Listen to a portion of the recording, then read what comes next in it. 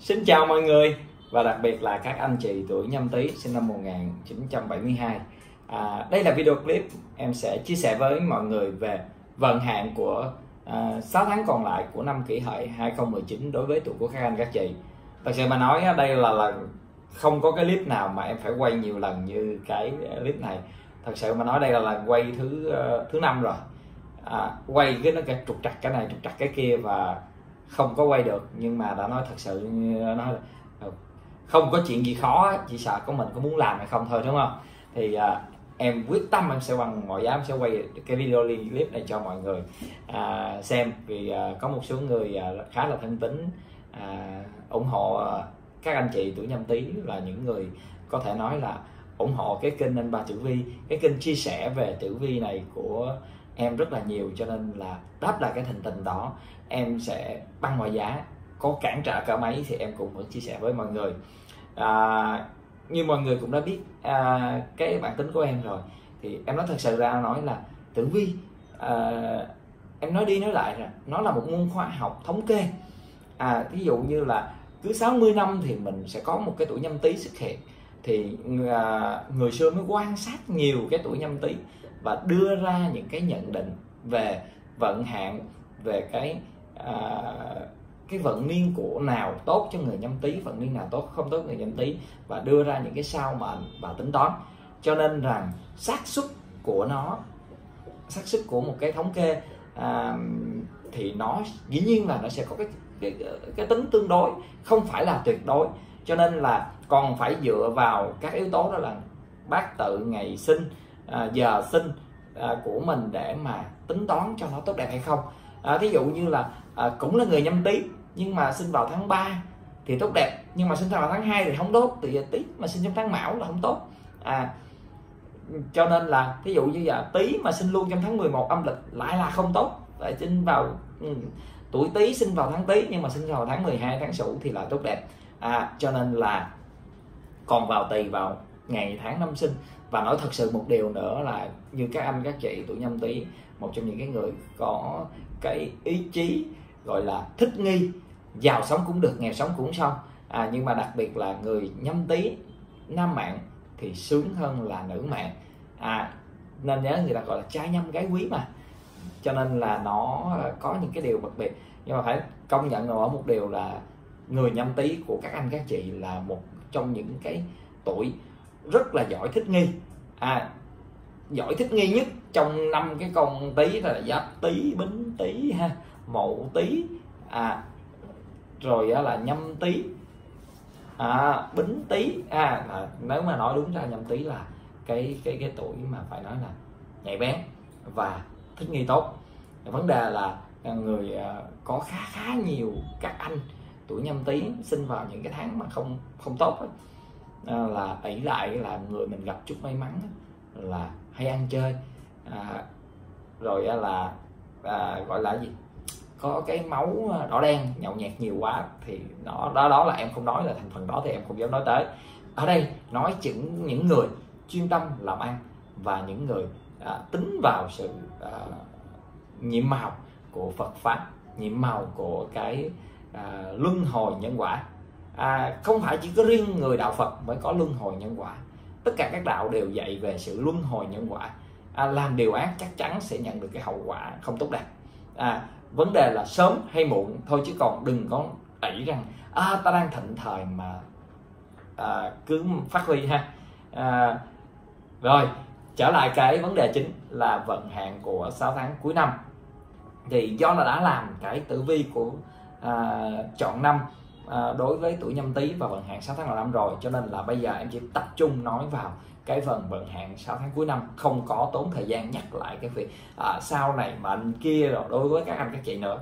À, rồi à, tháng mà đầu tiên của 6 tháng cuối năm của năm kỷ hợi 2019 em chọn đó là tháng 7 tháng 7 âm lịch của năm kỷ hợi 2019 tức là tháng nhâm thân cũng là tháng à, xá tội vong nhân đối với à, người theo uh, tín ngưỡng uh, Trung Hoa uh, Phật giáo Trung Hoa.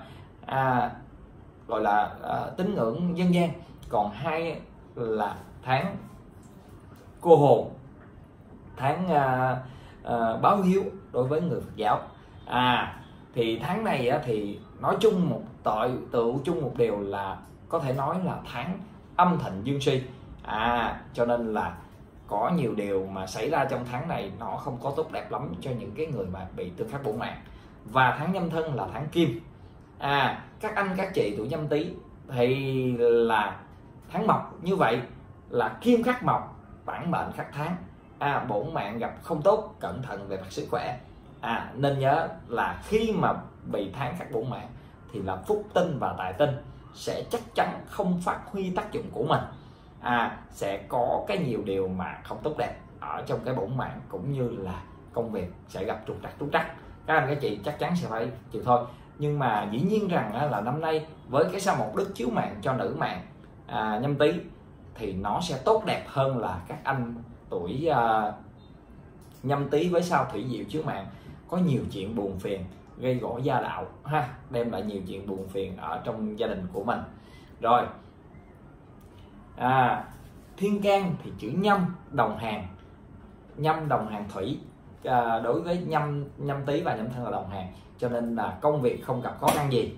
À cũng không có gặp cái sự chống phá quá đáng. Nó chỉ à, có chút chắc chút chặt do cái phúc tinh và bại tinh mình không có à, phát huy tác dụng để cho phá và bại tinh nó hoàn thành thiên can à, thân với tý là thuộc nhóm tam hợp thân tý thìn là dấu hiệu của nhiều may mắn không chỉ cho gia đạo mà còn cho cả công việc và các mối quan hệ của mình. Như vậy thì tháng 7 là tháng bổn mạng bị tương khắc chỉ phần phải chú ý về bổn mạng thôi. Cho gia đạo thì cũng không có quá nặng nề vì mình có tam hợp. Hy vọng rằng với cái tam hợp này nó sẽ phần nào làm cho tốt đẹp hơn ở cái bổn mạng sức khỏe của các, à, các anh các chị đặc biệt là các anh với cái sao thủy dị chúa mạng là có nhiều chuyện buồn phiền à, thì ảnh hưởng đến sức khỏe. Nhưng mà tháng này là tháng à, gia đạo ổn định mọi điều hanh thông cho nên là sức khỏe mình có thể là vì thế mà nó à, một phần nào nó sẽ đỡ đần. Rồi tháng tiếp theo của năm kỷ hợi 2019 đó là tháng 8 âm lịch. Tháng 8 âm lịch là tháng gì? Tháng quý dậu. Tháng quý dậu tiếp tục là một tháng kim. Như vậy mệnh cũng sẽ giống như tháng 7 là bản mệnh các tháng bổn mạng gặp không tốt cẩn thận về mặt sức khỏe à hai tháng liên tiếp tương khắc bổ mạng thì tháng sau nó sẽ xấu hơn tháng trước đúng không? Cho nên là tháng này là các anh các chị thì em cực kỳ cẩn thận cái bộ mạng của mình coi chừng những điều không tốt đẹp. Thiên can thì chữ nhâm và chữ quý là không xung không hợp là trạng thái cân bằng tự chủ. À nó thiên can của tháng 8 cũng khá giống tháng 7 à, tháng 7 thì nhâm đồng hàng tháng này là quý. Thì hai cái nhâm quý này đều thuộc nạp âm của hành đều thuộc thủy. Cho nên là tốt đẹp ở công việc không có việc xảy ra. Dậu tý à, về địa chi dậu tý là tý ngọ mẹo dậu. Nếu như đúng ra nó nằm trong tứ hành xung nhưng mà nó xa nhau quá cái sự xung khắc nó không quá lớn. Cho nên gia đạo mà có cái chuyện buồn phiền đi nữa thì nó cũng tí tí thôi chứ không quá lớn lao. À trừ những cái trường hợp mà các anh các chị mà à, có đã có sự xung khắc nhau từ trước thì đây là một cái cái giống như cái ngòi nổ để nó bùng nổ cái cái thùng thuốc nổ được chứa lâu thì mình không nói ha. Còn nếu mà các anh các chị mà bình thường thì em nghĩ là không quá khó khăn đâu. Rồi à, tiếp đến đó là tháng 9 âm lịch của năm kỷ hợi 2019 mà tháng 9 âm lịch là tháng giáp tuất tháng giáp tuất thì là thuộc hỏa như vậy mệnh là mộc sinh hỏa à bản mệnh bị sinh sức à sức khỏe yếu cần cẩn trọng. Khi mà bản mệnh bị sinh sức thì các phúc tinh vì thế nó cũng bị lu mờ yếu đi. Không còn đủ sức để mà chống lại những cái phá và bại tinh nếu nó có xuất hiện. Đặc biệt là với các anh trai mà tuổi uh, nhâm tý uh, với cái sao thủy gì chiếu mạng còn về mặt thiên can là nhâm và giáp thì không xung không hợp là trạng thái cân bằng tự chủ. À, tuy nhiên nhâm thì thuộc thủy giáp thì thuộc mộc cho nên có thể nói thủy sinh mộc là bản thân nạp âm ngũ hành của thiên can bị sinh xuất, rất dễ hao tài tốn tốn tốn tiền, ha. Cho nên gặp phúc tinh cũng bị sinh xuất nữa, cho nên là kéo theo coi chừng tốn tiền ở trong công việc làm ăn. Có thể là không có lớn, nhưng mà coi như là tháng này không có thu à địa chi tức tý thì tự chủ bình hòa, không hình hại cũng không có tương hợp nhau. Gia đạo ở trong tháng 9 không có vấn đề à, có thể nói là tốt đẹp nữa là khác ha. Như vậy thì tháng 9 cũng tiếp tục là một tháng không tốt đẹp lắm cho bản mệnh cho sức khỏe. Và công việc thì dễ phải uh, tốn tiền nha. Còn gia đạo thì không có vấn đề ha. Rồi tiếp đến đó là tháng 10 âm lịch của năm kỷ hợi 2019 mà tháng 10 âm lịch là tháng ất hợi.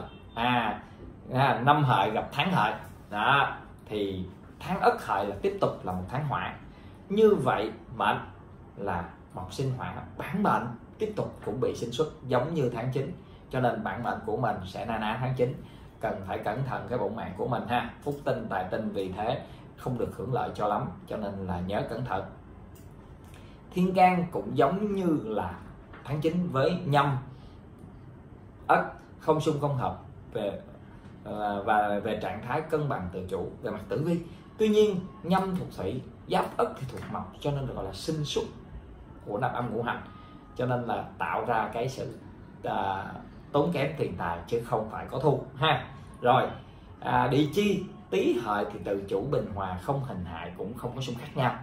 Như vậy thì tiếp tục là một tháng gia đạo ổn định không có việc gì quá lớn. À rồi xong. Rồi à, thiên can và địa chi là tốt đẹp tuy nhiên là bổn mạng tiếp tục là bị sinh xuất cho nên là cẩn thận về mặt sức khỏe. À, đối với à, các anh tuổi à, à, nhâm tý các chị cũng tuy là có sao tốt nhưng mà cũng không vì thế à, bổn mạng của mình tốt đẹp đâu cho nên là cũng nên cẩn thận một tí xíu. À, tiếp tục đó là tháng 11 âm lịch của năm kỷ hợi 2019 tức là tháng bính tý. À tháng bính tý thì là một tháng thủy như vậy á, là nó sẽ rất tốt đẹp cho bộ mạng của các anh các chị nhầm tí thì vì sao? Vì các anh các chị là mộc mà. Gặp tháng thủy là thủy sinh mộc. À bản mệnh tương sinh tốt cho sức khỏe và bổ mệnh. Đặc biệt là khi bản mệnh được tương sinh phúc tinh và tài tinh vì thế cũng được phát sáng hơn bình thường. À, tạo cho nhiều cái thuận lợi hơn cái phúc tinh và tài tinh. À, phúc phúc tinh và tài tinh sẽ đẩy lùi cái phá và bại tinh tạo ra tiền tài cho mình. Thiên can á, thì lại không tốt đẹp. Vì sao? Vì chữ nhâm là khắc chữ bính thiên can khắc tháng. À, công việc dễ gặp nhiều điều chống phá khó khăn. Tuy nhiên là thiên can của mình là chữ nhâm khắc chữ bính chứ không phải là chữ bính khắc chữ nhâm. Cho nên nó có gặp khó khăn thì mình vẫn có thể giải quyết được nhưng mà mình tốn tâm tốn lực hơn chứ không phải là rơi vào bế tắc vì tháng khắc thiên can đâu. À, cho nên là cũng tương đối ổn định. À địa chi là tý gặp tý năm sinh tháng tuổi. À tháng tuổi thì chắc chắn là sẽ có à, nhiều cái à, cái cái việc nó sẽ không có ok. Tuy nhiên là hy vọng với cái mệnh thủy sinh mộc thì phúc và và và tài tinh phát huy hết cái tác dụng của mình sẽ phần nào khống chế mình có công việc ha. À, khống chế bớt cái sự khó khăn ở công việc. Lại chỉ còn cái việc mà rắc rối ở các mối quan hệ và gia đạo thôi. Thật sự mà nói thì uh, trong 6 tháng uh, cuối năm tháng bính tý vẫn là tháng xấu nhất đối với người nhâm tý. Cho nên là dù gì đi nữa thì nó là tháng xấu nhất thì mình cũng vẫn nên tránh nó một chút xíu. Dù đằng sau bạn của các anh các chị cũng không quá xấu đâu. Cái sao thủy diệu đem đến chuyện buồn phiền cho các anh đó là nó thuộc hành thủy. Các anh là thuộc hành mộc cho nên nó tương sinh thủy sinh mộc cho nên cái sự mà phát huy tác dụng của nó xấu lên bổn mệnh của các anh các chị ở trong năm nay cũng không quá lớn. À, nói thật sự là có một vài anh à, có nhắn cho mình à, là tuổi nhâm tý nói mình anh cũng vẫn chưa làm được gì hết. Qua đầu năm này giờ thấy nó có sao sao á à, cũng chưa phải là năm thành công. Thì anh em cũng nói đúng thôi tại vì cái sao thủy diệu nó không đem đến cái sự vui vẻ cho mình. Tuy nhiên nó không quá xui đối với tuổi các anh đem đến cái chuyện quá buồn phiền. À chỉ là rắc rối nhỏ thôi rồi tiếp tục là tháng cuối cùng của năm kỷ hợi 2019 tức là tháng chạp của năm kỷ hợi. Và đó là tháng đinh sửu. Mà tháng đinh sửu thì là thuộc thủy. Như vậy xét về trụ mệnh là tiếp tục cũng giống tháng 11 thủy sinh mộc à bản mệnh tương sinh tốt cho sức khỏe và bổn mệnh của mình. À như vậy là ok đúng không? Rồi à, thiên can là chữ đinh hợp chữ nhâm. À thủy là đây là cái thiên can thuộc ngũ hợp à, công việc sẽ tốt đẹp dễ sinh tài lộc. Ô trà ngon à nha. Vừa được mệnh tương sinh ha thiên can được ngũ hợp địa chi là tý sửu thuộc nhóm lục hợp tốt cho gia đạo và lẫn công việc. Rõ ràng đối với các anh các chị tuổi nhâm tý tháng 12 là một tháng cực kỳ tốt xét về tử vi. Như vậy rõ ràng là tốt đẹp. Kệ nó một năm có thể có trục trặc trục trặc. Nhưng tháng cuối cùng của năm nó có tổng hợp nhiều cái may mắn. Hy vọng rằng nó sẽ kéo bớt kéo được lại những cái gì mà mình đã phải à, trầy trật bỏ ra ở trong à, những cái à, tháng còn lại à, của năm. Nhưng mà thật sự mà nói thì à, tổng chung là người nhâm tý đối với năm kỷ hợi 2019 là tốt đẹp chứ không phải là xấu gì cả. Cho nên mọi người cũng yên tâm. Có được cái tử vi như vậy thì quá là có cái được cái tử vi của tháng 12 như vậy thì quá là tốt đẹp. Như vậy thì em đã chia sẻ xong cái vận hạn 6 tháng cuối năm kỷ hợi 2019 à, đối với à, các anh nam cũng như các chị nữ tuổi nhâm tý với nhiều cái tín hiệu tích cực ở trong cái à, cuộc sống đặc biệt là tháng 12 tuy nhiên là bổn mạng à, tháng 7 tháng 8 tháng 9 tháng 10 không được à, như ý lắm thì các anh các chị cần phải cẩn thận. À, nếu à, hy vọng rằng ừ, đây là những cái thông tin mình chia sẻ à, giúp ích được cho các anh các chị đưa ra được cái nhận định có cái hành trang để đưa ra được cái nhận định tốt đẹp ở trong những cái tháng còn lại của năm kỷ 2019 à, để các anh các chị có được cái sự thành công mỹ mãn. À, nếu các anh các chị xem video thấy hay xin nhớ bấm like và chia sẻ cái video này cho nhiều người tuổi nhâm tý biết mà ứng dụng vào cuộc sống ai chưa đăng ký kênh anh ba tử vi, xin nhớ bấm đăng ký ở bên dưới để đón chờ những video khác có thể về tử vi phong thủy, tuổi của người thân hoặc là chính bản thân mình. Rất vui và hẹn gặp lại mọi người ở những video tiếp theo. Bye bye.